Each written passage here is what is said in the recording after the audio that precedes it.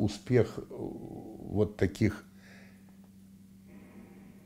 супер важных э, мероприятий или, как сказать, планов осуществления, он зависит от нескольких вещей. Он зависит, на мой взгляд, от политиков и э, от экономистов, но на самом деле он зависит от очень плотного контакта политиков с экономистами. У БРИКС, как у организации, есть определенная проблема. И эта проблема связана, прежде всего, к сожалению, не с экономикой. Эта проблема связана с политикой. В нашем мире политика, к сожалению, подчеркиваю, опять же, к сожалению, идет впереди экономики, как правило.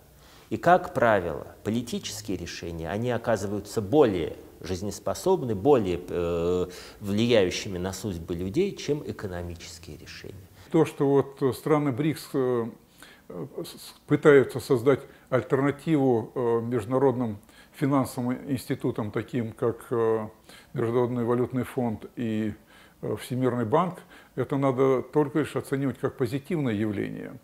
Другое дело, смогут ли они подменить для этих стран БРИКС те функции, которые выполнял МВФ и Всемирный банк, я думаю, что не смогут, потому что Э, мощь этих двух организаций основана на том, что доллар является резервной, единственной резервной валютой.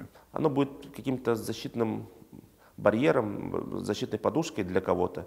А так э, в ближайшей перспективе нет, наверное, что не будет это никого пугать.